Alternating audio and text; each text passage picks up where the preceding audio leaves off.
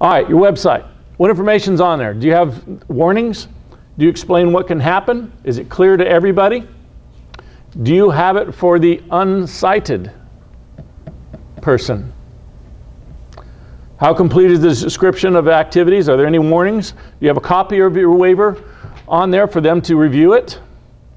Are the pictures on your website yours or are they copyrighted? Did you get them, steal them off the internet?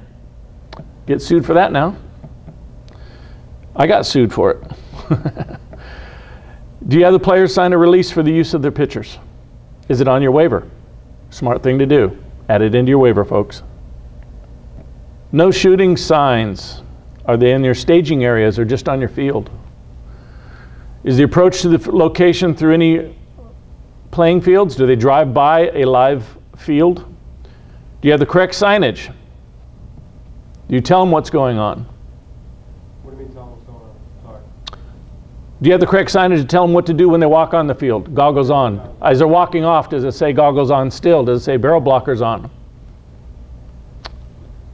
Do you know what the ASTM says you're supposed to have as far as signage? Are you a member of the ASTM? Best $75 you ever pay. All right, what is the layout of the field? Do they shoot towards the staging area or parking area? Or are they shooting laterally? Is the parking area, staging area marked with signs, what they can do and not do? Something as stupid as a speed limit sign, folks. Because how many people think that they're Mario Andretti or some off-road racer? Inflatable bunkers are the stakes below the surface level. Or do you forget to check them? Low branches removed. Bunkers made with nails or screws. Big difference. The nails will back out with heat and cold. Our bunkers reviewed prior to each day of play for nails to be flush. Make sure there's no sharp edges. Are the stakes checked several times each day by your refs? Do you release the air in your bunkers? Middle of the day. So that the SupAir bunkers don't bounce the balls over your net. Because they get hard with the heat, like tom toms. That ball hits that thing, goes bang, it'll go another 150 yards. All you got to do is let the air out. Most people don't even think about it. All right, we'll have more questions later. I just get you guys thinking about different things that you're going to be exposed to as a field owner. Number one, layout is important. The parking area location where you actually have the parking versus your playing area, your staging area, your chrono area, your playing field area, the entrance to the playing field, you want to control that. The direction of play is important. And if you don't do all of those things together, you end up with potential for claims. This is not a good field layout where you're shooting up and down towards registration and parking. Why? The balls will go over the net. If you play paintball at all, you know that the balls will go over the net during normal play. So don't set it up so they can potentially shoot in that area. Here's a, a better field layout, shooting crosswise, but you got registration and parking right there. You have no chronograph area. They can't control what's going on. The guy with the registration right here can't watch what's going on in the field. So if your registration is in the center, you have a little bit more control. Here, the registration's in the center. You got your staging and parking a little bit off the net, not right up on it. The chrono's in, the, in front of the registration area so you can actually see what's going on. I know nobody ever walks away from a chrono with their goggles off or walks into a chrono station with no goggles or a barrel blocking device not on when they walk out. I know we've never seen that happen. Danger areas are going to be cross areas, corner to corner. Why? Because most paintball players that play in the back corners here are fat old guys like me that can't run up to the front bunkers. And they usually have poor eyesight. So instead of aiming like this, they're aiming up like, like this, trying to see if they can hit all the way into the back bunker. And it clears the net, the parking lot, and the freeway is on the other side because they can't tell where they're landing. So where you position everything is really important. Would you stand behind your netting? Have you tested it? How long ago? Every three months you ought to test your net. The netting that has been coming in in the last five years from China does not last 12 months if you're in a high heat or high, uh, cold area. Does your netting have holes in it? Do you zip tie them shut? If your netting has holes in it, probably because it's a failed net.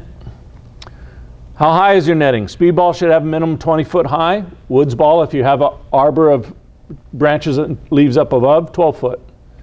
Do you have a Z entrance into your fields in your chrono area where they have to walk back two different directions? You guys are taking notes. Hold on. Take notes on some important stuff. This will be available for you guys on the website. So you guys don't have to write down every single one. Sorry. He's typing like crazy over there. Uh, I, I, thought you were sending a note to somebody. He's like, It's easier, it's quicker to type it, I can keep up quicker. all right, right on. Uh, this will be available for all you guys. Um, the Z entrance, real important, so that they have a chance to make two cuts before they come in onto the field, so people aren't looking to see what's going on in the field without goggles. What is the setback used from your netting? Do you let people stand up against the net? For some reason, people are stupid enough, they'll walk right up to the net and put their face right on it like that. We've had a couple of people lose their eyes, eyesight because of that. Netting should be tested every month, ASTM test, 315 feet per second, 15 feet back, 10 shots in a four inch circle. No particles over three millimeters should go through. How do you test that if you don't have the rack to do it for ASTM? On a windy day when your net's billowing and it's taut, walk back, measure it, chrono your gun at least 300, try to get up to 315, and fire 10 shots. If anything burns through, you know you got a netting issue. If it's taut with the wind, it's usually going to give you the same tension that you're going to have. That'll be the worst case scenario.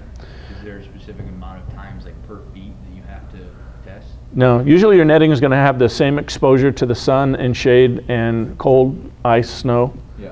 um, throughout the whole park. So if you test, if you have three fields and you test three fields, one or two spots, then you're fine. Okay. Uh, document the date and time of the test with a video. Hearsay doesn't work in a defense. Yeah, I tested it March 12th or 13th, I'm not sure. Everybody has a damn camera that takes video. Use your camera. This is not an acceptable entrance. This is one of the fields I've insured for years. I showed up over there and I went, what the hell is that? The problem with this is the people standing right here has a direct line from this guy shooting this way.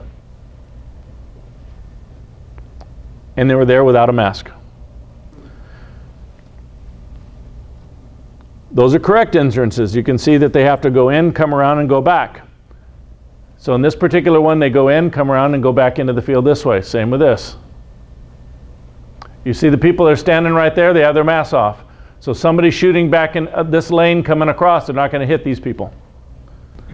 Here's a doorway to a field. The better way on this one would have it open the opposite direction. So it opens out the backside instead of inside. Because now that everybody on the outside of that doorway would get shot if the game was going on while somebody walked off the field.